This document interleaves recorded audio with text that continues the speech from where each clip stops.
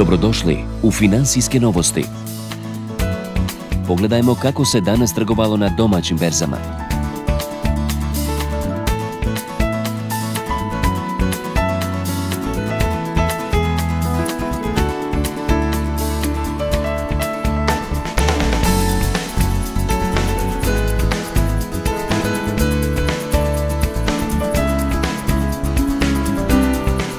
Raiffeisen banka i Western Union tradicionalno svake godine organizuju program nagrađivanja klijenata koji obavljaju Western Union transakcije u poslovnicama Raiffeisen banke širom Bosne i Hercegovine.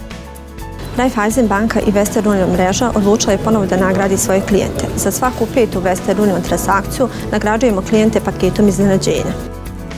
Osim paketa iznenađenja, koji klijenti automatski dobivaju nakon obavljenih pet transakcija, oni najsretnije očekuju i druge vrijedne nagrade.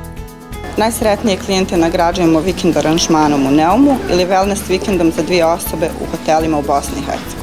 Akcija traje do 31. marta 2012. godine i zato posjetite najbližu poslovnicu Raiffeisen banke i uzmite svoj poklon iznenađenja.